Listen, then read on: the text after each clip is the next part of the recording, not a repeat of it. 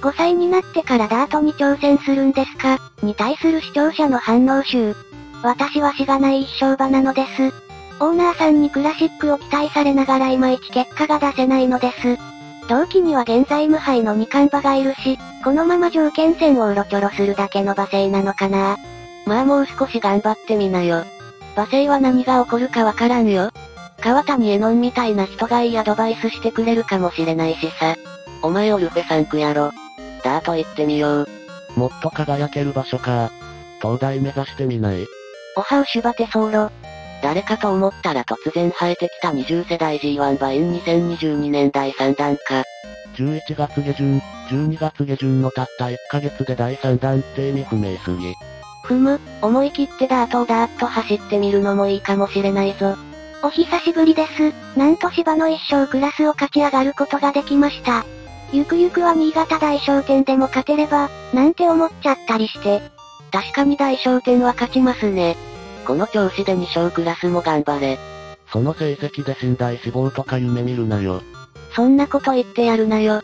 はは、やっぱり無理ですよね。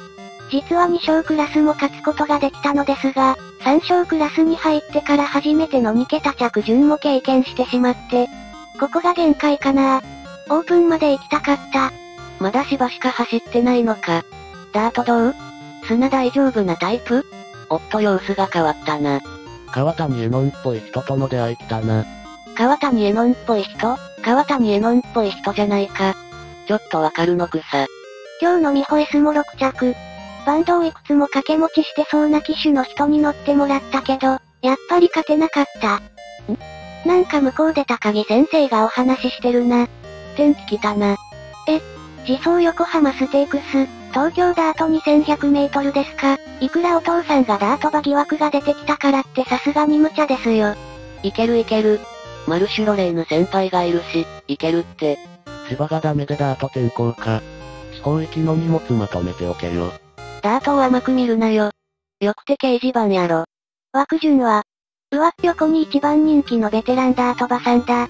砂って調教でしか走ったことないよ。しかも安城レジェンド。まあ胸を借りるつもりで頑張るしかないな。負けたな。終わったら風呂入ってきます。勝ったわ。強すぎはロタ。これは自走も勝ち確ですわ。もしかして馬審査おかしい？これマジ？川谷絵音のファンになりました。セカオワの CD 買います。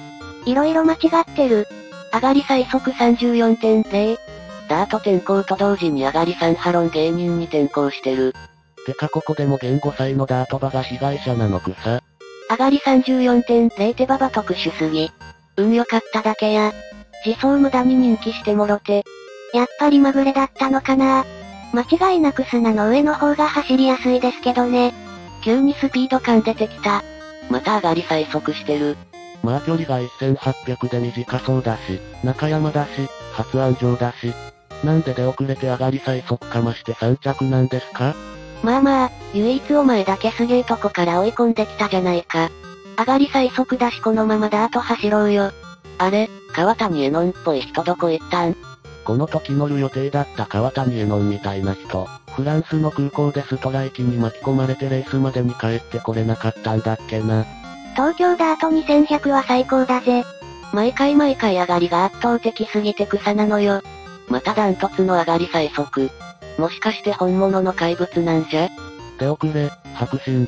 もうリステッドまで行くなんてすごいやん。オープン入りしてるじゃん。チャンピオンカップ近いしいきなり G1 行く？このまま重賞勝とうぜ。自走可能プス S、もう余裕ですよ、阪神。内枠。大丈夫大丈夫、余裕余裕。囲まれましたごめんなさい、マークされてます。前残りの阪神ダートで勝てるわけ。前が壁やん。勝てた。こんなのが昨年まで芝でくすぶってたんだからマジで馬の運命ってのはよくわからん。阪神ダート2000って後方からも勝てる良いコースですね。目指せなんとか大商店マスターに一番近いかもね君。ミーの知ってるダートは逃げ残り前残りで後ろは不利なはず。次は重賞制覇に行こうね。G3 か G2 だね。いやいきなり G1 行こうぜ。勝てる器だよ。それはダート G1 舐めすぎ純ライトですら G3 勝ってからやぞ。自走東京大商店だそうです。今回ならワンチャンあるやろ。春に同じコースの帝王賞を買った名称張りをモデルらしいねうーん。いきなり G1 はどうだろう。メンバー層が薄いとはいえ一時一番人気になってたのは笑った。前日投票始まった直後に富豪による大口投票があって1倍台になっててさすがに草だったわ。まずは、東京大商店出れるようにお祈りやね。賞金がやばいねなんとか中央馬の枠に滑り込めました。お、右回りだし初地方だけど頑張れ。なーに、重賞初挑戦なんだから勝ちは期待してないさ。もうちょっと外枠の方が良かったね。うおーいの砂だー。スタート悪くないやんけ。ハリオさん待ってー。4コーナーでぐんぐん上がってく名称ハリオ投手バテソーロのズホンマスコ。やったー。おめ。東大場だ。素晴らしいぞ川谷絵音。なんで私が東大に？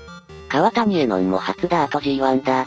昇進の川谷絵音が東大でやり返してスカッとした。川谷絵音みたいな人だったのに川谷絵音になってて草。私以外私じゃないって川谷絵音も言ってたし本人だよ。重賞初挑戦にあるマジキ凄まじい手応えだなって思いました。4コーナーで外に出たあたりで勝ちを確信した。次は川崎記念です。